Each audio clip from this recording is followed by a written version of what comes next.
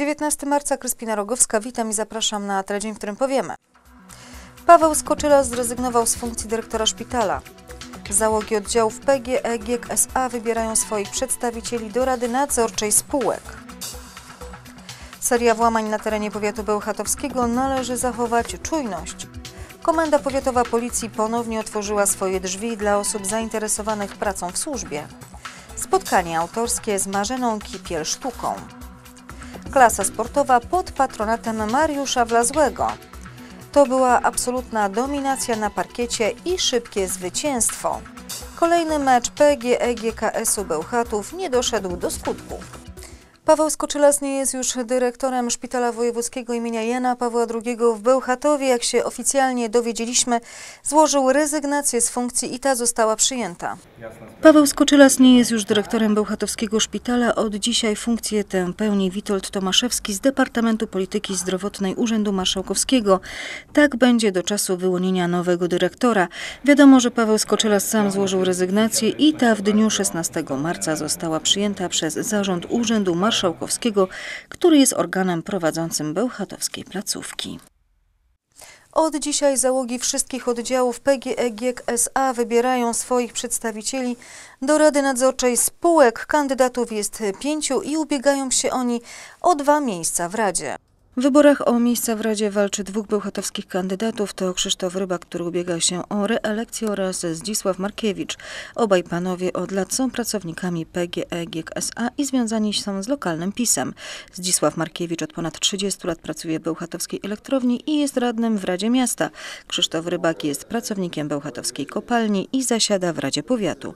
Oprócz bełchatowskich kandydatów do Rady Nadzorczej swój akces zgłosili również Sławomir Wochna i Konrad Konrad Leśniewski, obaj panowie z kopalni Turów oraz Józef Rogalski z Opolskiej Elektrowni. Załogi wszystkich oddziałów głosować będą w dniach 19-22 marca. Wybory będą ważne, jeśli zagłosuje 50% załogi. Na terenie powiatu bełchatowskiego odnotowano kolejne włamania do domów i mieszkań. Policja apeluje o zachowanie czujności i uruchamia specjalny numer telefonu, na który można dzwonić, gdy zobaczy się coś podejrzanego. Włamywacze są coraz bardziej zuchwali, okradają nie tylko domy usytuowane na uboczu, ale też i mieszkania w centrum miasta. Najchętniej te, na które można się dostać przez balkon na parterze. W ostatnim tygodniu włamania odnotowano w Zawadach i na ulicy Czyżewskiego. Policja apeluje o czujność, zwłaszcza w okresie świątecznym, kiedy to często wyjeżdżamy do bliskich i zostawiamy bez opieki swoje domy i mieszkania. Należy zwracać uwagę na to, czy na osiedlach bądź pod domami nie kręcą się nieznajomi, nie wykonują zdjęć, czy nie przyglądają się zabezpieczeniom. Każdy taki przypadek należy zgłaszać pod numerem telefonu 690 115 431, czynnym całą dobę lub pod 997. Po raz drugi Komenda Powiatowa Policji zorganizowała Dzień Otwarty. Akcja ma przybliżyć zainteresowanym kulisy pracy mundurowych oraz zachęcić do wstępowania do formacji. Kilkadziesiąt osób przyszło w niedzielę do Bełchatowskiej Komendy, by dowiedzieć się więcej o pracy w policji. Przede wszystkim jednak można było się dowiedzieć, jakie należy spełnić wymagania, by rozpocząć służbę. Rekrutacja to długa i niełatwa droga. Na początku trzeba dobrze napisać test. Tu potrzebna jest szeroko rozumiana wiedza społeczna. Rekruci przechodzą również testy psychologiczne i sprawnościowe. Tor przeszkód dla wielu okazuje się najtrudniejszym wyzwaniem. Podczas dni otwartych można było poćwiczyć jego pokonywanie. Praca w policji czeka na młodych ludzi. Zarobki na początku nie są najwyższe, to około 2400 zł. Osoby, które przejdą rekrutację pierwsze wynagrodzenie otrzymują jeszcze przed podjęciem pracy, a już na etapie udziału w szkoleniach. Marzena Kipiel-Sztuka, znana szerszej publiczności z roli Halinki z serialu Kiepscy, gościła w Miejskiej i Powiatowej Bibliotece Publicznej. Na spotkanie autorskie przyszło wielu bełchatowian. Autorka opowiedziała zarówno o kulisach pracy w serialu, jak i o swoim życiu. Mam w umowie wpisane, że spotkanie z publicznością trwa godzinę. To może być jakaś piosenka, jakieś takie rzeczy. Czasem mam problem, ale zawsze mój, mój przyjaciel, który mnie, to znaczy przyjaciel, kolega, wiezie, mówi, będzie pani zadowolona, bo jak ja się rozkręcę, to trzeba mi pukać w zegarek. Gaduła. Mieszkam sama, no właściwie nie mieszkam sama, mieszkam z kimś. Tylko się z blondynem. Pani już wie, pewnie gazetę pani przeczytała, tak? Jest blondynem, ma brązowe oczy, ma na imię Gienek. Nie dyskutuje, nie, kot był. Ze mną 18 lat, wystarczy, znaczy jemu wystarczyło pożądaniu, aniołków, miał na imię Wacek. A Gienek jest właśnie blondynem, ma brązowe oczy, mocno chrapie, nie dyskutuje, kiedy ja na niego krzyczę. To jest mops. Wiecie jak to wygląda? To wygląda jakby zderzyło się ze ścianą. Marzena Kipiel-Sztuka to osoba otwarta, przebojowa, która natychmiast zjednała sobie przychylność zebranych. Oprócz aspektu sportowo-siatkarskiego, uczniowie w tej klasie będą mieli więcej godzin języka angielskiego oraz zajęcia z dietetyki i przygotowania mentalnego. W trakcie poprzedniego spotkania umówiono zasady rekrutacji do tej klasy. Przypomnijmy, że ta przeprowadzona zostanie 8 kwietnia o godzinie 9 w hali Energia i będzie dwuczęściowa. Kandydaci wypełnią test z języka angielskiego oraz sprawdzą swoje możliwości podczas testu sprawnościowego. To była absolutna dominacja na parkiecie. Zawodnicy PGS Krybełchatów nie pozostawili cienia wątpliwości, że są w doskonałej formie. Drużynę z Będzina pokonali do 20, 12 i 20. PGS Krabełchatów była faworytem spotkania, ale to jak bardzo żółto-czarni zdominowali przeciwników na parkiecie zasługuje na uznanie. Mecz był bardzo dobry w naszym wykonaniu, nie popełniliśmy dużo błędów, e, aczkolwiek się zdarzyły w pierwszym secie, gdzie mieliśmy dosyć dużą przewagę i e, drużyna z Będzina e, doszła e, do naszych punktów i e, set stał się bardziej wyrównany, Ne, ale myślę, że e, cały układał się po naszej myśli i nie pozwoliliśmy im się rozwinąć, bo wiedzieliśmy, że no, ostatnie mecze zagrali bardzo dobrze i e, z Zaksą przede wszystkim e, też e, e, pograli na tyle, że, że gdzieś tam e, te sety były bardzo zacięte i wyrównane, więc wiedzieliśmy, że jeżeli damy im chociaż troszkę oddechu, to może to się dla nas źle- skończyć, bądź ten mecz e, będzie wyglądał bardzo groźnie. No i e, wszyscy się skoncentrowaliśmy na to spotkanie i, i tyle. Myślę, że my w ogóle nie patrzyliśmy na, na e, tabelę. Gramy, mm, żeby grać jak najlepiej. Każdy mecz chcemy rozegrać e, o zwycięstwo, najlepiej za trzy punkty e, i taką zasadą się kierujemy. A, a to, co się dzieje w tabeli, to tak prawdę mówiąc dopiero to jest drugi plan, nas to nie interesuje. Mamy tyle spotkań ważnych przed sobą, że że jeszcze jedna rzecz, która gdzieś tam nam będzie zaprzątać umysł, e, jest zupełnie zbędna. Cała ta runda jest taka e, dosyć ciężka pod kątem e, meczów wyjazdowych i kolejny nam się zapowiada tydzień dosyć ciężki, a jeszcze następny już w ogóle bardzo ciężki. Ale zagraliśmy pierwszą rundę prawie całą u siebie i wiedzieliśmy, że, że tak to będzie w następnej. Każdy był na to przygotowany i, em, i cieszymy się, że możemy reprezentować nasz klub. E, I, I tyle, no, no, takie są po prostu e, zasady gra, grania w, w naszej lidze e, i to w pełni akceptujemy. walczymy o to drugie miejsce w lidze i to jest, to jest dla nas e, cel. Trener też w ogóle po, po, po tym meczu z Włochami tak naprawdę nie podsumował tego spotkania. Myślę, że teraz będzie czas przed kolejnym spotkaniem na to, żeby podsumować, powiedzieć co, co zagrało, a co nie zagrało. On sobie na pewno to jeszcze kilka razy, znając naszego trenera, przeanalizuje, obejrzy do, do poduszki albo do porannej kawki, albo jedno i drugie. E, I będziemy gotowi na to, na to spotkanie rewanżowe. Myślę, że nie, bo tutaj jedno spotkanie przegrane 0-3 i może to się wszystko gdzieś tam wywrócić, odwrócić. Zobaczymy jak się skończy, bo jeszcze teraz w tym momencie nie wiemy jaki jest wynik e, Warszawy z Jastrzębiem. Wiem, że przegrywa Warszawa 2-1, więc to też jest na naszą korzyść.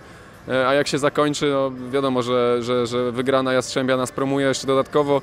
E, Powiększymy wtedy przewagę punktową, ale, ale tych spotkań jeszcze jest kilka. Jeszcze jest bezpośrednie spotkanie z Warszawą, jeszcze gramy bardzo ważny mecz u siebie z Kędzierzynem, więc e, tych punktów jeszcze można nałapać i pogubić. Dlatego trzeba mieć rękę na pulsie właśnie w takich meczach jak dzisiaj. Myślę, że, że, że to gdzieś tam pewnie się będzie nawarstwiać, ale my jesteśmy do tego przygotowani, e, przyzwyczajeni już na pewno przez tyle lat. To są tutaj mamy zawodników na, na światowym poziomie, zawodników, którzy już wiele lat grali w reprezentacjach swoich, swoich krajów, nie tylko z Polski, ale też z zagranicy. E, więc ja myślę, że my jesteśmy na to gotowi i to, to, to miły czas, że można będzie gdzieś tam go. E, tego treningu będzie mniej na pewno, więcej podróżowania, więcej rozmów i, i spędzania czasu z kolegami z drużyny. Statystycznie wyglądało bardzo dobrze, 3-0 do 20, do 12 i do 20. E, Szczególnie Od tego drugiego seta zaczęliśmy rewelacyjnie grać w ataku. E, Też widać to po błędach i po blokach przeciwnika. Praktycznie zdarzyły nam się dwa błędy przez całe spotkanie. Plus do tego przeciwnik zablokował nas dwa razy, więc e, widać, że, że bardzo dobrze graliśmy w tym elemencie. Ciężko było nas tam w ogóle dotknąć. Więc y, to cieszy. No oczywiście cieszy dyspozycja w zagrywce, gdzie popsuliśmy w całym meczu 18 zagrywek, ale zdobyliśmy tym elementem oś- 14 punktów, więc cieszymy się z kolejnego spotkania i już y, nie możemy się doczekać y, następnego tak ważnego meczu dla nas w Lidze Mistrzów o być albo nie być, więc y, liczę, że pojedziemy tam i walczymy ten awans do kolejnej rundy. Zwycięstwo za trzy punkty pozwoli PGS Krzebełchatów umocnić się na pozycji wicelidera rozgrywek. Z kolei drużyna PGE GKS-u Bełchatów nie może ruszyć z rozgrywkami ligowymi w rundzie wiosennej. To już trzecie pod rząd spotkanie, które zostało odwołane, tym razem z powodu fatalnego stanu murawy spowodowanym opadami śniegu tuż przed meczem. Niewykluczone, że zaplanowane na najbliższy weekend spotkanie wyjazdowe w Katowicach również zostanie odwołane. Taką sytuacją nie mieliśmy do czynienia od bardzo wielu lat. E, No jest to mocno deprymujące na pewno dla zawodników, ale też dla kibiców. To jest normalne dla osób obsługujących mecz, bo już drugi mecz e, przy sportowej zostaje e, odwołany. Mam odwołany mecz w Tarnobrzegu i wcale nie jest powiedziane, że zagramy w najbliższą sobotę w Katowicach, bo no te warunki na razie nie pozwalają na to, żeby być optymistą. To nie pomaga, to też kwestie mentalne, tak e, zresztą jeden zespół i drugi na, nakręca się przed meczem, a potem nagle to wszystko e, zjeżdża, no, szczególnie kiedy decyzja zapada tak naprawdę 55 minut przed rozpoczęciem, planowanym rozpoczęciem e, meczu. Mm, Nie pomaga też to, że tak naprawdę przez tydzień mm, zespół zawodnicy nie wiedzą, czy ten mecz się odbędzie. Tak jest na przykład w tym tygodniu przed wspomnianymi Katowicami. Na razie nie wygląda to, to za dobrze. Na pewno jest to czas na, na więcej analiz, na, na to, żeby zespół ze sobą poprzebywał. Ci nowi zawodnicy e, mm, więcej są z nowymi kolegami, więc trzeba szukać też jakichś e, plusów w tym wszystkim. No i nie ma kontuzji. Natomiast mm, potem no to będzie nagromadzenie meczów naprawdę solidne i będziemy grali w systemie e, sobota-środa, czyli takim pucharowym dosyć. Y, Ma to też plusy i y, ma minusy, natomiast no, będzie się działo na pewno w kwietniu i maju.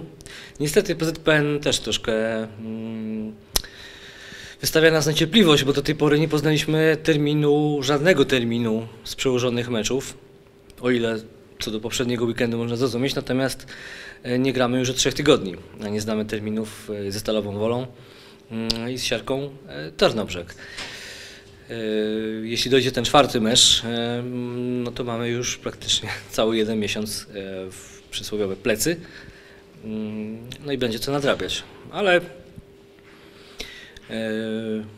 szukajmy w tym plusów. No, mimo wszystko jest to coś niezwykłego, jest to ewenement na pewno skali klubu, ale też innych klubów, bo powiem tylko, że na 27 zaplanowanych meczów do tej pory zagrano tylko 5. Tylko Radomiak na szczęście zagrał aż 2 żadnego. No zobaczymy, co przyniesie, przyniesie pogoda. No, najbliższy mecz u nas e, to 31 marca, Wielka Sobota. No, może zlituje się natura nad nami. Oficjalnie mecz został odwołany z powodu Z powodu e, stanu boiska, który no, nie pozwalał na normalne uprawianie e, tego sportu. E, boisko było, miało około 7 cm warstwę mm, śniegu i pomimo, że, że linie były e, przygotowane, no to niemożliwe było zdjęcie tej pokrywy, e, kiedy cały czas e, opad śniegu był stały. To nic by to nie dało, nie można wjechać ciężkim sprzętem mm, na to boisko, żeby go nie zniszczyć. E, Do tego, jeśli Państwo, kto był mniej więcej w okolicach stadionu, to czuł też wiatr kilkudziesięć, kilkudziesięciokilometrowy. No, nie, tylko najwytrwalsi, to już naprawdę najwytrwalsi wytrzymaliby na, na trybunach e, w taki dzień, w taki wieczór. No było to coś niesamowitego. Mm, bezpieczeństwo zawodników przede no, bezpieczeństwo zawodników. Y, Dwa to jest no, uprawianie y, piłki nożnej, bo to nie byłaby piłka nożna. No, tylko można powiedzieć, że jeden mecz szatno się odbył w ten, e, w ten weekend w drugiej lidze. W pierwszej też były e, odwołane, więc to żaden ewenement. Mieliśmy po prostu pecha. Gdyby ten mecz odbył się dzień wcześniej albo dzień później, może byłaby jakaś, jakaś szansa. Dzisiaj to wszystko, co dla Państwa przygotowaliśmy. Ja się już żegnam. Życzę spokojnej nocy. Dobranoc.